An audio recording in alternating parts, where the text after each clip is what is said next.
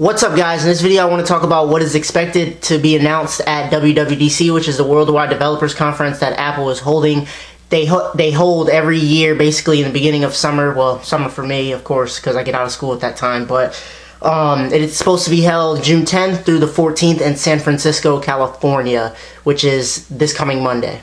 Alright, so let's jump right into the news. Now, just recently, Apple revealed that they will be talking about the future of iOS and OS X at the conference, which is, of course, expected to be talked about during the first, like, the opening keynote. Like, that's when the event first starts. Now, a KGI analyst, Ming Chi, Ming Chi Kuo, predicts that Apple will introduce a slim down 13 inch MacBook Retina display MacBook Pro Retina display, excuse me, with a higher quality FaceTime camera at WWDC. Now, he also notes that the 13 inch Retina MacBook Pro will have a thinner chassis as the company pushes towards a more portable form factor for its smallest high end offering. Now, the MacBook Pro models are expected to upgrade their FaceTime HD cameras from 1080, I mean, from 720p to 1080p, which is basically full HD. Now the MacBook Pro Retina display models are expected to have feature Intel's latest generation Haswell processors which offer more horsepower and lower power consumption which leads to longer battery lives. Now let's go ahead and talk about the MacBook Air. This is just something quick.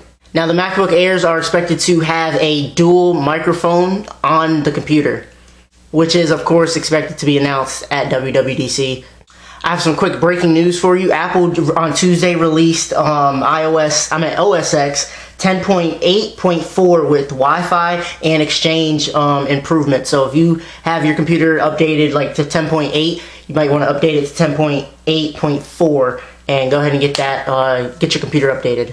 Now this is basically the, the main thing that everybody wants Apple to talk about is iOS 7 at WWDC 2013.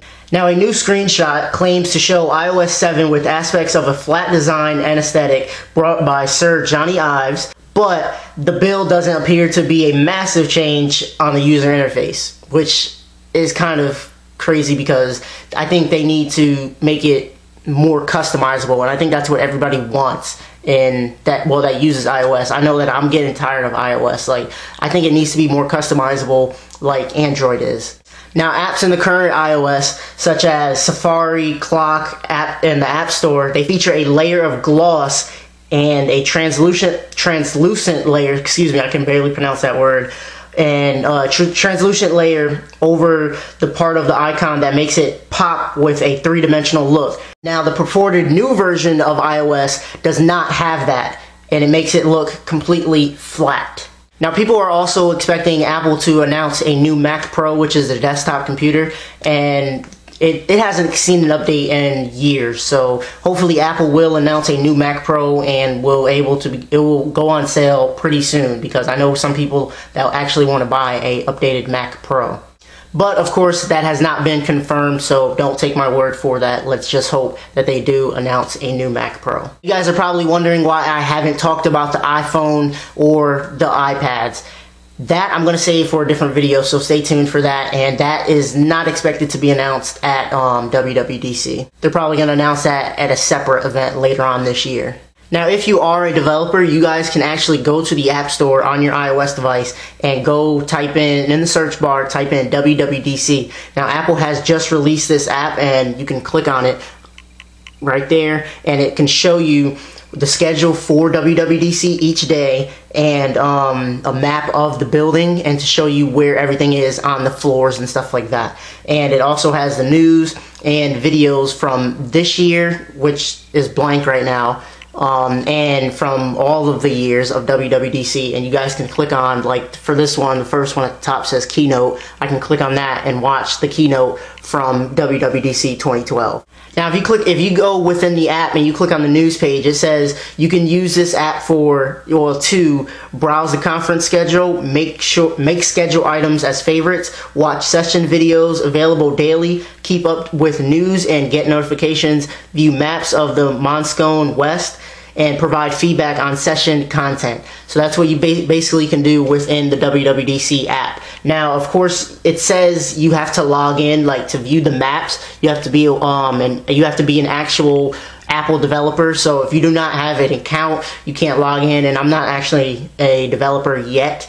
Um, I'm about to become one, but I can't log in and see the map of the well, the floor plan of the building and see where everything's at. So.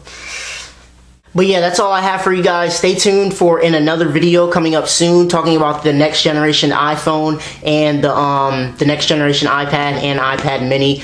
And stay tuned next week, Monday, for a full recap video of WWDC, the keynote speaking.